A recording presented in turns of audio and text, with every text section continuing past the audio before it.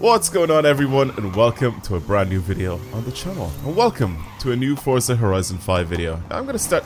Oi! I'm gonna start this video with a question. Very simple question. What do you think the best car in this game is? So the car that can do it all. The car that you can just use one of them and it can do everything. Now, you may be wondering, it could be this, the Peel P50. Absolutely baller of a car. Probably the best car in this game, right? Eh, not really. It's uh, it's a little small. It's uh, it gets a little startled if you go a bit too far sideways, or if you take it off road. It seems like, yeah, it, it looks like this. Um, driving on the road isn't actually too bad if you can control it, but uh, yeah, it's definitely not the Peel P50. What else could it be? It, I mean, it could be the Koenigsegg Jesko or Jesko, whatever you want to pronounce it like. It could be one of these off-road things. It could be the Warthog. It's definitely not the Warthog. It could be one of these. It could be uh, the Apollo. Uh, it could be something else, right? No, it's not. It's actually a very weird car. In my opinion, I think this is probably the best car in this game. And I'm going to try something with it to see if I can make it so it's the best car in this game. One thing that I've never tried with this car is to do a race build with it. This car right here, the Copo Camaro, it's a car that was added way back, I don't know how many months ago, probably a year ago, over a year ago, if even that. So this Camaro, as you can see, is basically a drag car. It's got it's got a wheelie bar at the back, it's got a chute at the back and everything. It is an unbelievably fast car in a straight line, as I've tested out in multiple videos, calling this thing one of the fastest or one of the best drag cars in this game. But not only that, right? We can get this thing to go off-road. You can put the big knobbly off-road tires on this thing and have it do some serious, serious off-roading in cross country and even in just normal rally events. And that was very weird because it got me thinking, is this car, here's the tunes that I have for it, you can even drift it by the way, I completely forgot about that, it's actually a really good drift car too. Now, uh, yeah, like I said, I've also been given this tune, which I've used for cross-country racing, and it was unbelievably good. I even tried this thing for a little bit of dirt racing, like rally racing, and it did alright as well. As you can see, like I said, you can put some, uh, some knobbly tires on it and have it handle really well off-road. Now here's the thing. Can this thing actually be driven normally on the road? Can you give this thing like racing slick tires and actually have it so it handles on the road? If you can do that, if I can go and make this thing good at handling on the road, I would honestly consider this car as being the best car in this game. There's not a lot of cars that can do every single thing really, really well. Like I said, drift points you can get with this thing really, really well. As for drag racing, it is one of the fastest cars in this game. Even if it may not be the best car, right? Like you probably have a bunch of other cars that will beat this thing by like a few thousand points or like a, a second or whatever in the quarter mile, right? But a car that can do everything is hard to find in this game. And I think this is one of the best cars in this game. And I'm going to call it the best car in this game. If, if I can do one thing with it and that's build it for racing. So that's what I'm going to try in today's video. I want to try to see if I can build this thing for normal racing, give it some slick tires, give it some aero, and see if I can actually get this thing to drive normally, like a normal car. It already has stupid, stupid wide tires on the back. Um, you could go with three 95s on the back if we really want that. Uh, it's already an S1, so power-wise, it's not something that I'm going to be messing around with. I don't have any aero, unfortunately, with this thing, so I don't know how that's going to work out for me. Um, we can get rid of the chute. That's fine. I don't really care about that. Now, like I said, okay, we can put slick tires on it. That's good. Uh, I definitely need really wide front wheels. 295s in the front should give us those really, really wide front wheels. Um, yeah, there's just no aero. That's that's pretty much it. That's the only thing that I don't have with this guy is is the aero. It just doesn't exist.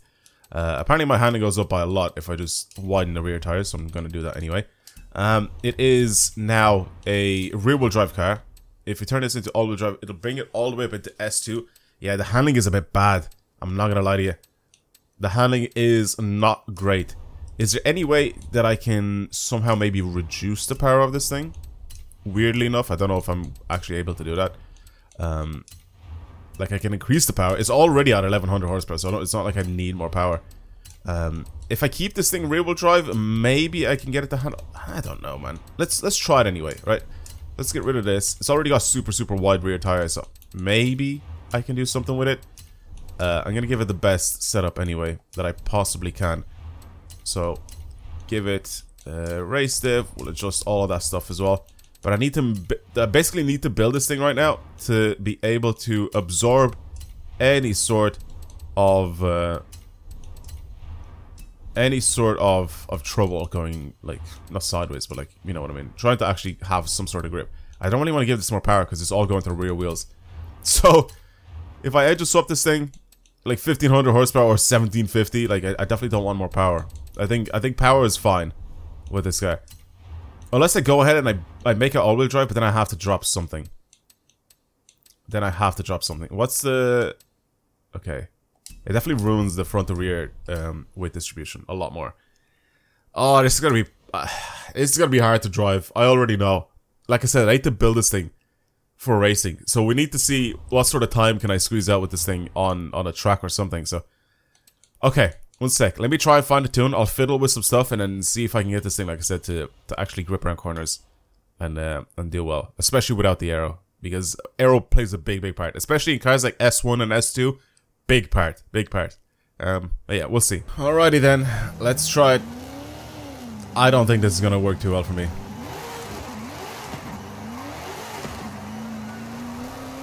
I really don't know if this is gonna work too well for me.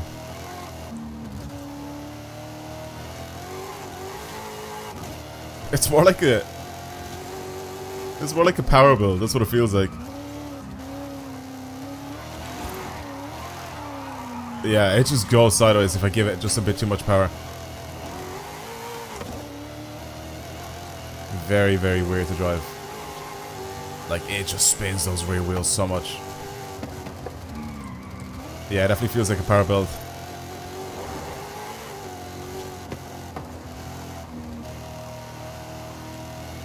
I think if I'm just smooth with the with the throttle inputs, brakes are good.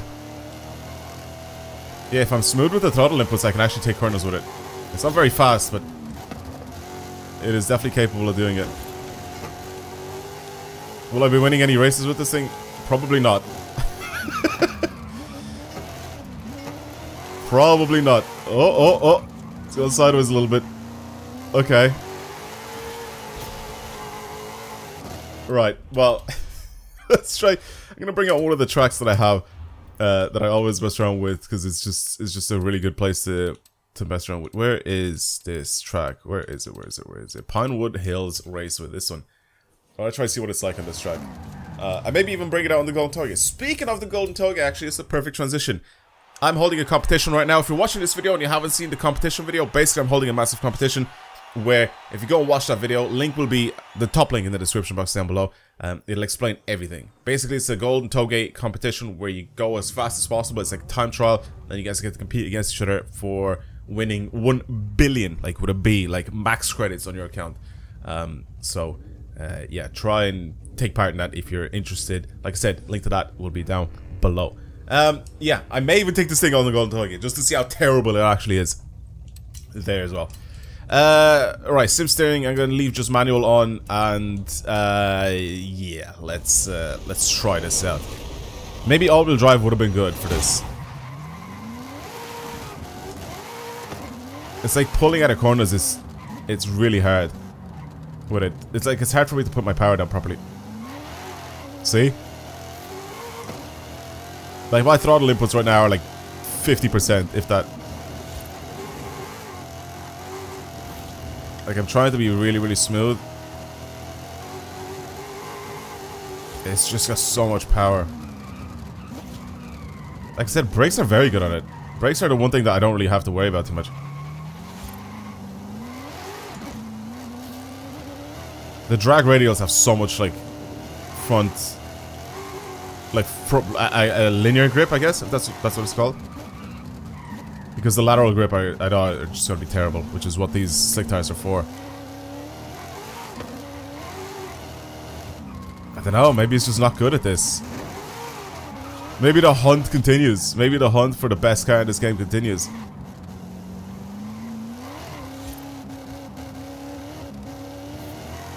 Maybe the hunt for the best car still continues.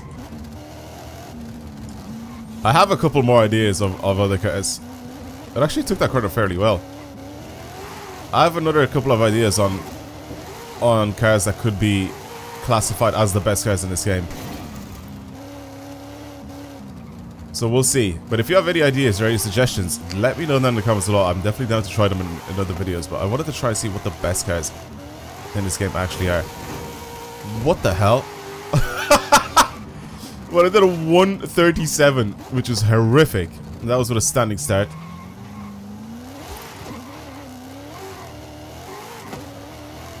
I kind of want to try to take this thing down the gold target. It's just such, such a difficult character. to. It really hates this track. Uh, this track is, as much as I like this track, like it's just a, a well like laid out track and stuff like that. The actual platforms that are used to create it are so old school. I don't like. They're just.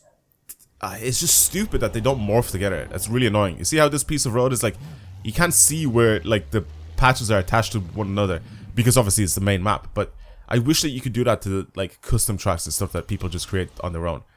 Um, but yeah, let me try this on a gold. It's just gonna be so bad, man. I, I can already tell how bad this is going to be. Let's try it anyway. Let's see.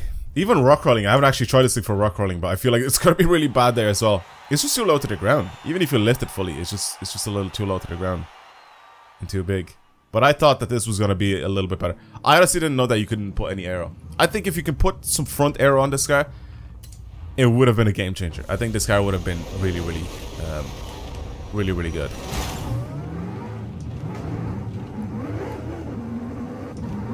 I can't see anything. That cowl on the hood, cannot see a damn thing. At all.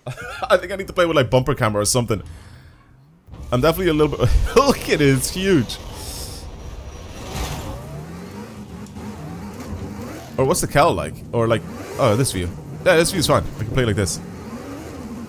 I'll show you the exterior view as well afterwards. For people that want to see the third person perspective. Slow down, slow down, slow down. Okay, that's good.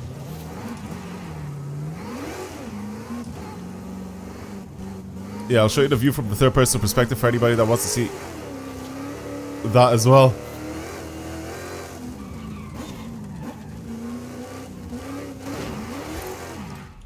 I, don't even know what to like start turning with this thing. It's so weird. The tune is fine, it's just the power delivery is just... it's mad. It's just got way too much power.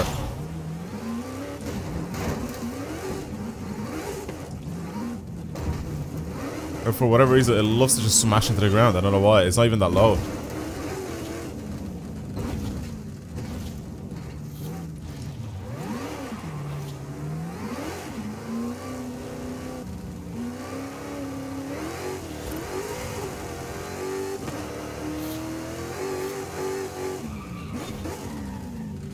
Oh my god.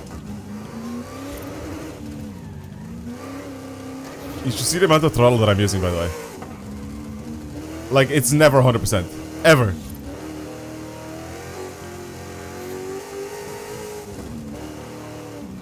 Oh my god. If this thing does a sub 5 minute, I'll be very surprised. Seriously.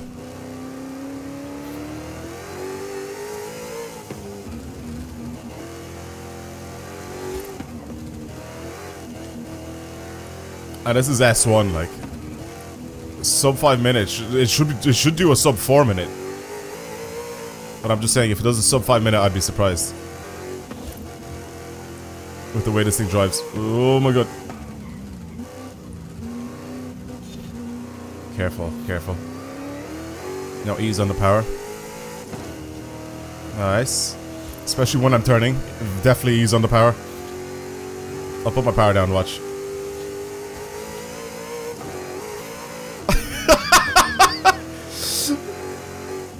Oh no, it's gonna. Okay, keep it in check, keep it in check, keep it in check. I need to slow down into here, so it's either it's either brake or smash into the fence. Same thing. Same thing, it just slows me down.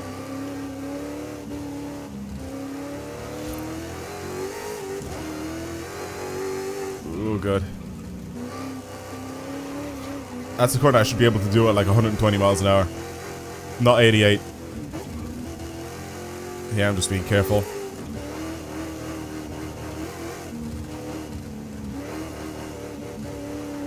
Yeah, see the way it's like floating around everywhere? If it had air, it would be so much more.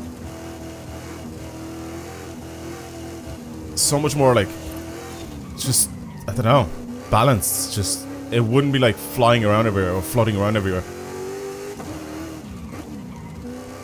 The tune that I made was made just so I could actually be able to take corners with this thing, right? So I adjusted the camber and toe accordingly.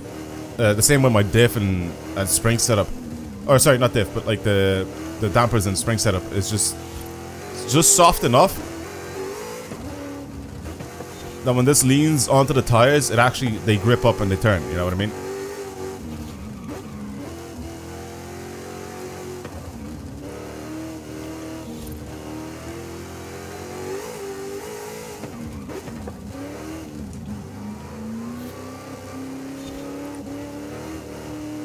Okay.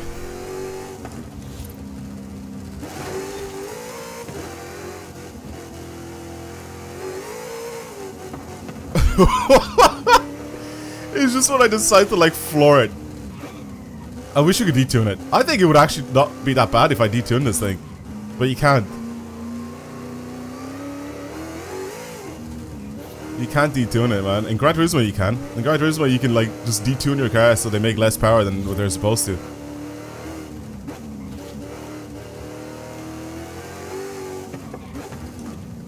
If you buy like an aftermarket turbo as well, you can change, I think, not the PSI, but like just the amount of power output that it, it puts out. I think you can change it to whatever you want. But I wish you could do that in this game. You could just detune cars.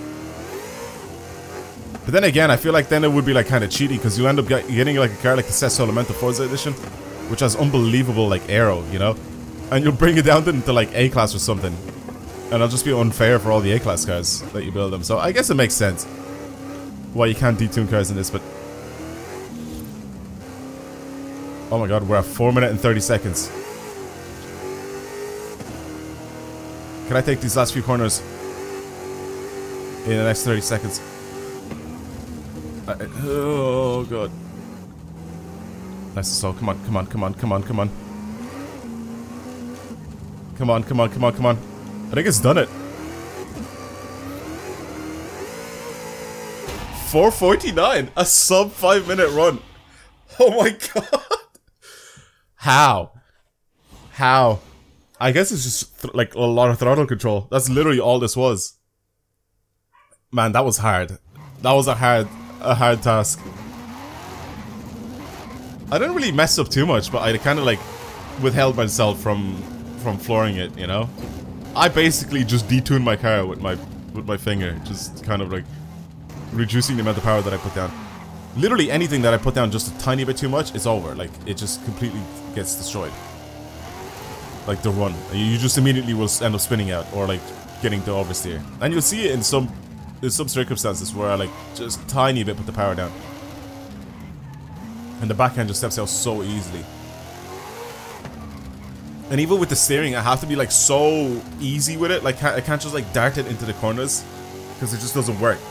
Even if I put sim steering on, I think I honestly feel like this guy would probably be a little bit better with like regular steering, like standard steering, instead of sim steering, because it'll be less twitchy and it'll be a little bit easier to to do very smooth movements. Because like if I do any sort of harsh movements with this thing, it doesn't even matter if it's just steering or throttle. I feel like I'll end up getting this thing to spin out or something. Yeah, that was just it was just fun to try and test this thing out like this. Um, I guess the hunt for the best guy still continues. Like, if you can't do this, then I'm not even going to bother to take this thing rock crawling. There is one more car that I have in mind that I feel like it can do everything. It's it's a little smaller, I think, just a tiny bit. But I know it's I know it's got a lot of horsepower. I know it's able to race really, really well on road and off road. I haven't never taken it out drifting, so I don't know what it's like drifting, but it, it probably is very, very good if it's capable of doing that. I know you can have the off-road like knobbly tires on it. I know you can have pretty much every tire possible on that on that car. I feel like that video is gonna be really good. I feel like that video is gonna be really really good. Um, well here we go. Right, this is this this was the Copo Camaro. Uh, hopefully you guys enjoyed today's video. If you want to see more videos like this on the channel, then of course subscribe. And, you know, just so you can get notified whenever I upload a brand new video. Plus, it helps the channel out a lot in trying to get to obviously a, a higher subscriber number. Higher number means better person according to uh, Ludwig, for people that watch him. Um, yeah, anyway, that's uh, that's pretty much it. I'm gonna let you guys watch the rest of this run for this video, uh, just to see how it goes from the third person perspective, but yeah, I'm going to leave you to it. Thank you for watching, everybody, once again. And yeah, like I said, leave your suggestions down below for any other cars that you guys want me to try and feature on this uh, on this little mini series that I'm doing on the channel. I'm trying to figure out what the best car in this game is. The car that can do it all, basically. Um, but yeah, thank you for watching, and I'll see you guys in the next one. Goodbye.